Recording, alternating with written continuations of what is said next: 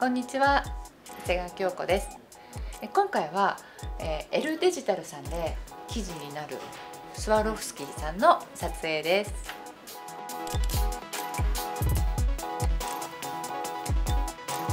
可愛いピンク似合う本当ですか、うん、肌との相性がすごい良いですよ。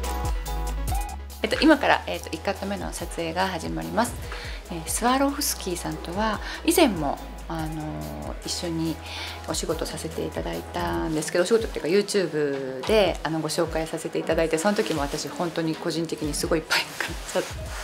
買っちゃったっていうかもう可愛くてついつい手が出て買ったんですけど今回もあの素敵なジュエリーをつけさせていただいてます。で今ついてるこのネックレスなんですけどお花をモチーフにしたネックレスでいろんなカットのあのストーンが散りばめられているのでなんかこうどの方向から見てもすごく反射をして綺麗にキラキラするようになってるんですよ。で私あの普段はあのこうすごくシンプルな一粒ダイヤとかいうのをつけるよりも割と存在感のあるシンプルな服に存在感のあるジュエリーっていうのをつけるのがすごく好きで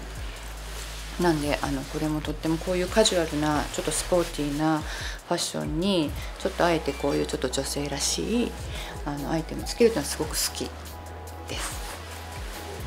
はい、はい、行きましょう。行きましょう。お願いします。お願いします。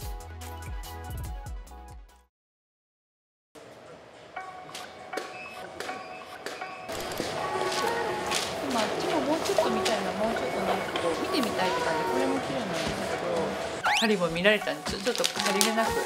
うやって隠して持ってきたんだけど。持ってくとこ見られちゃった なんか何をやってもどういうふうにやってもそうかそうエレガントに綺麗になっちゃう、うん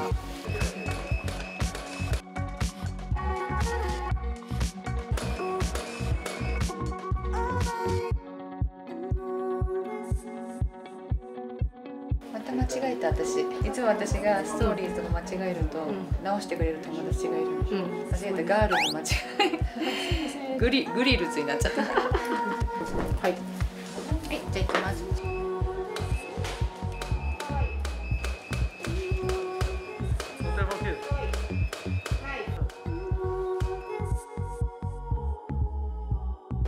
今2カット目の撮影が終わったんですけどちょうど。見てくださいこれ。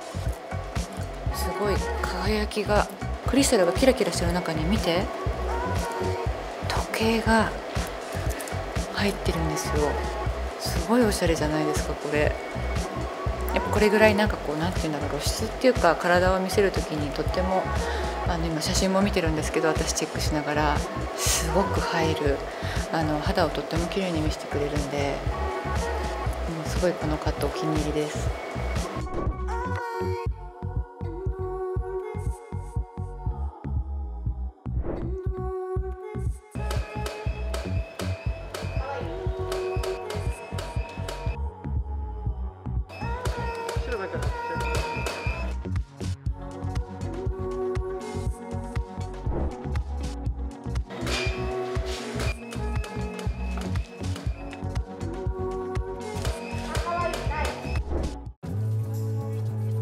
最後のカットです。こ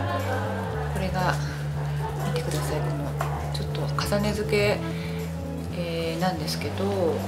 この一番大きいこのクリスタルが八角形なんですけどこれあのスワロフスキーさんがリニューアルして新しく生まれ変わった時に生まれたあの八角形の形らしいんですね。でそれになんかいろんな形のこうやって重ね付けしてこれだけを取るととてもクラシックだったりとかするんですけどコンサバティブだったりするんだけどこういうほんとジージャンとかこういうカジュアルな格好にあのすごく似合うしお互いがなんかすごい何て言うんだろうこういいところを出してくれるなってすごく今回いろんな洋服をスタイリストさんに用意していただいてすごく思いました。じゃあ行ってきます。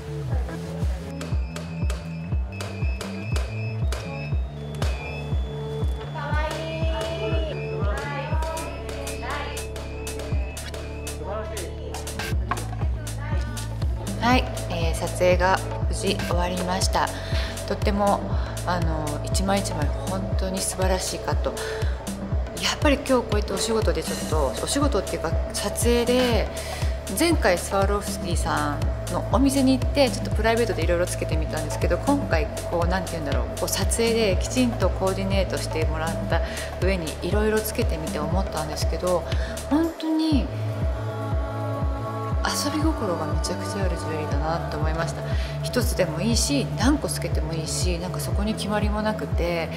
でもなんかこう足していったり引いていったりっていうすごくこう遊びながらっていうのがすごく大人のあのファッションの楽しみ方だなってあの思いました。とても楽しかったです。で今日の撮影の写真は L デジタルさんで、えーと、見ることができるのでぜひ、えー、皆さん見てみてください。そして、えー、スワロフスキーさんの詳細も、えーと、YouTube の中の、えーと、概要欄に、えー、と記載されているのでそちらの方もチェックしてください。で今日はありがとうございました。